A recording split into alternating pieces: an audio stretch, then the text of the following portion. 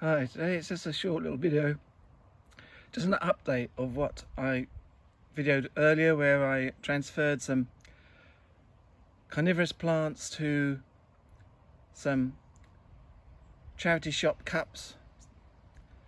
Uh, carnivorous plants like these, they want to be in a very damp environment, something like a, a pond or a side of a pond so you can put these in cups and you just need not tap water you just need fresh water not chlorinated water.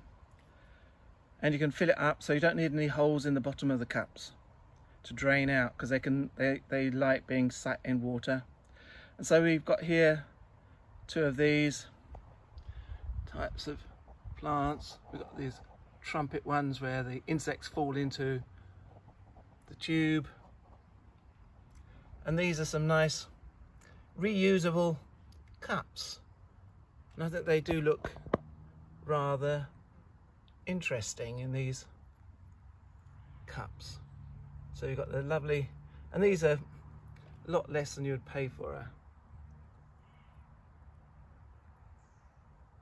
a nice pot just go to your local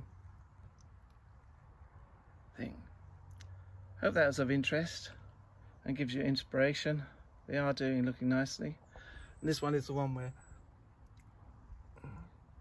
the insects just get stuck on the I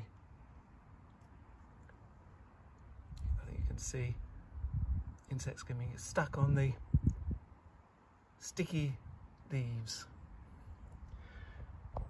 All right, thank you very much. Uh, hope to see you soon. Bye.